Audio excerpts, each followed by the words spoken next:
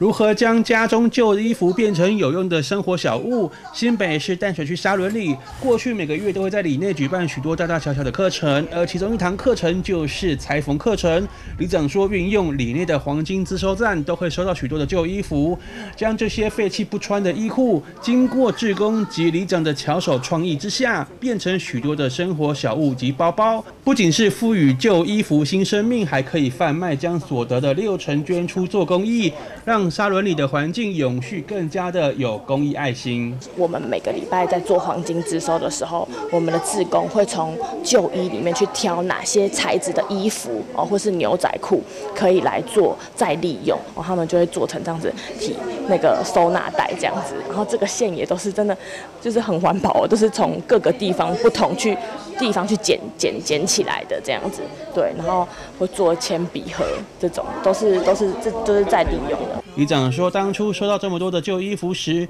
就想到集合志工，将有些人家中摆放许久的裁缝机及烤客机等设备搬到教室旁边。经过大家的巧思及创意，将旧衣的口袋配件都拆开来，也将大型可以用的布料剪裁重新整理分类完成之后，再将这些布料组合缝制成包包、零钱袋、手机袋、铅笔盒等生活小物。这就是原本是一件裤子，他们就会剪。他们就把它剪，可能像这个是不是他们想要做一个提袋之类的？对，就是自己会去去就是想创意，然后像这个口袋，他们都会剪下来。不同裤子的口袋，因为这些口袋可能到时候做成的包包可以去做一个点缀。像这一件就比较特别，是它上面这个花并不是它这个裤子本身的，这朵花是可能别件裤子或是别件衣服身上的花，然后他们就会从上面剪裁下来，然后去在别件衣服在上做利用，然后去去点缀，让这个包看起来更不一样。这样，李长表示，过去有许多的环保回收。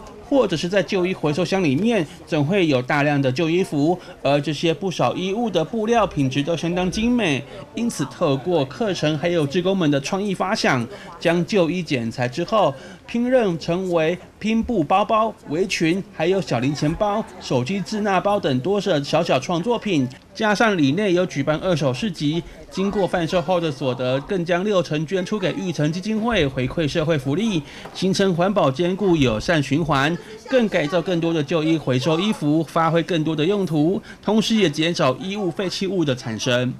记者许端英淡水采访报道。